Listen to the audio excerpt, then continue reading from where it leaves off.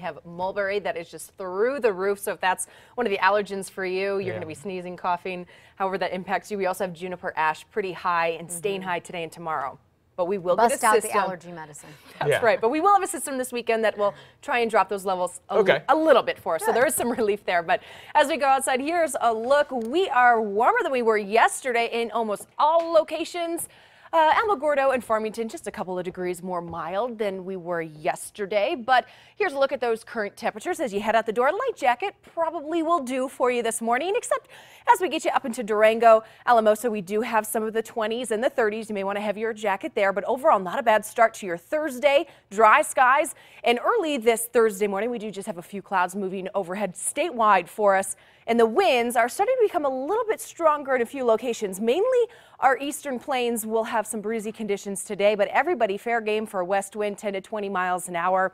And with that, paired with the dry air that we have and the heat, we are going to keep that high fire threat in place. I'll show you where we have those warnings. But also today, we're going to be starting to see some 90s, the first 90s we have seen this year, and a couple weeks early. We're actually about one to two weeks early on that. But here's a look at those red flag warnings, really the central mountains all the way to the east in effect today, all the way through about 7 o'clock. And I bet we'll see this repeat into tomorrow as well. Southern Colorado, we do have some red flag warnings as well. So just like we were talking about the wildfire uh, just before we started weather, you are going to want to really hold off on the burning today. But the forecasted highs pretty warm, 70s, 80s and a few 90s. Roswell, 93. Carlsbad, 93 as well. Albuquerque will get to 82. And we'll see some of the cooler temperatures in southern Colorado.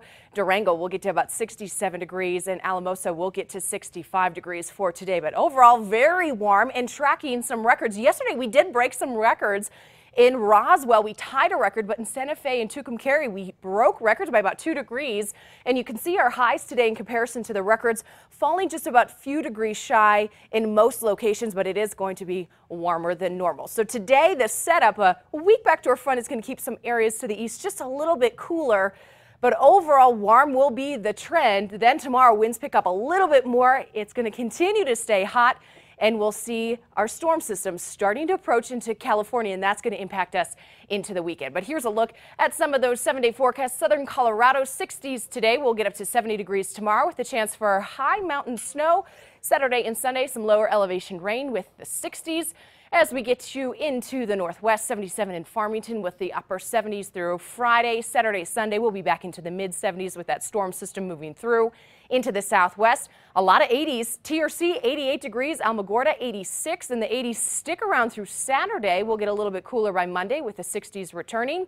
Into the south and east, we'll get to 90 degrees in Fort Sumner. Clovis will get to 86 degrees with the 90s through Roswell and Carlsbad and holding on to the 90s all the way through Saturday, Sunday, and Monday. We could get some dry thunderstorms. Breezy though today, winds west 15 to 20 mi 25 miles an hour. Into the northeast, Raton 79, Springer 78 degrees, and we'll have the 60s, even 50s by Sunday and Monday with a storm system moving through. Windy today, west 20 to 30 mile an hour winds.